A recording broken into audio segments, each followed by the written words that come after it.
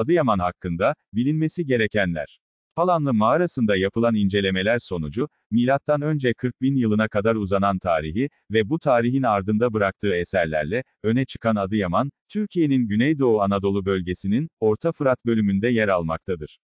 Birçok Neolitik ve Kalkilitik çağlara ait izlere rastlandığı görülen kentte, Hititlerden Kommecin Krallığına, sonrasında ise Selçuklulardan Osmanlılara uzanan, tarihi bir dokuda mevcuttur. Şehir, 9 ilçesi ve 427 köyüyle beraber 7871 kilometre karelik yüz ölçümünde 610.484 kişilik nüfusa sahiptir. Adıyaman kuzeyinde Malatya, batısında Kahramanmaraş, güneybatısında Gaziantep, güneydoğusunda Şanlıurfa ve doğusunda Diyarbakır ile komşudur. Binlerce yıllık tarihe sahip Adıyaman, Helenistik ve Roma dönemi eserlerine sahiptir.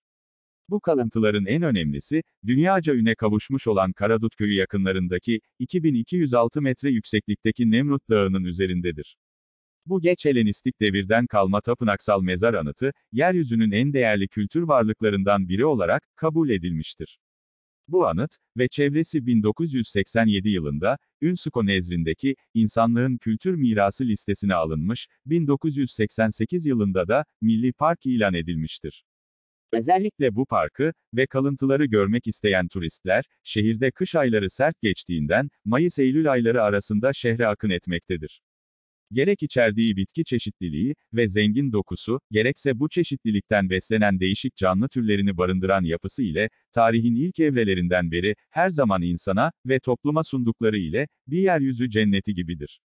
Emevi, Abbasi, Selçuklu ve Osmanlı dönemlerinden kalan camiler, şehrin dokusunu büyülemektedir. Bunun yanı sıra, tarihi dokularıyla bozulmamış ve günümüzde hala kullanılan, Mor Petrus Kilisesi gibi, diğer dinlere ait kutsal mekanlarda bulunmaktadır. Adıyaman Müzesi'nde bulunan ve Paleotik dönemden günümüze dek uzanan, her çağa ait 30 binin üzerindeki, kendine özgü eserlerin sergilenmiş olması da, şehrin dokusuna bir başka hava katmaktadır. Kentte bulunan oturakçı pazarı, çoğunlukla Adıyaman yöresine özgü eşyaların, özellikle de el sanatlarının ve halıların, alınıp satıldığı bir yer olma özelliği taşımasından dolayı, mutlaka görülmesi gereken yerlerden birisidir. Kahta ilçesinde bulunan ve Kommecenen Krallığı'na ait yeni kale ve en eski yerleşim yerlerinden biri olan Gerger ilçesindeki Gerger Kalesi, tek parça ana kaya üzerinde, görenleri hayretler içerisinde bırakabilecek bir mimari yapıda, inşa edilmişlerdir. İçerisinde ibadethane, sarnıç, mahzen, zindan, gizli su yolları ve benzeri sosyal donanımlar bulunmaktadır. Adıyaman, dünyanın 8 şaheserden biri olan Nemrut'a ve dünyanın 6. modern harikası olarak kabul edilen Atatürk Barajı'na da ev sahipliği yapmaktadır. Atatürk Barajı, Türkiye'nin en büyük barajı ve şehrin en büyük tatlı su olma özelliği taşımaktadır.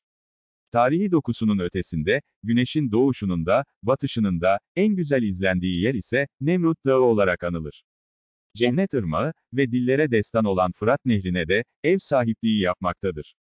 Ana kaya üzerine inşa edilmiş yapıları ile birlikte, bu kentte bulunan kaya mezarları, bu topraklarda ölü gömme kültürünün, ayrı bir sanat olduğunu göstermektedir. Bu özellikleriyle, aslında her karış toprağında, ayrı bir tarihin Adıyaman'da, yazılı olduğuna şahitlik edebilirsiniz. Doğu ile Batı'nın birleştiği yer ile, göğün barıştığı bir mekan olarak, tarihte bilinen Arsemiya'nın, bugünün insanlığına, çok ciddi bir barış mesajı verebilmektedir. Hem tarihi yapısı ile, hem de coğrafik özellikleri ile, gezginleri her anlamda tatmin edebilen Adıyaman, mutlaka gezip görülmesi gereken bir şehirdir. Buraya kadar, izlediğiniz için çok teşekkür ederiz. Videomuzu faydalı bulduysanız, beğen butonuna basıp yorum yaparak, daha çok kişinin faydalanmasına yardımcı olabilirsiniz. Güncel videolarımızı takip etmek için, abone olup, bildirim zilini açmayı lütfen unutmayın. Bir sonraki videoda görüşmek üzere, hoşçakalın.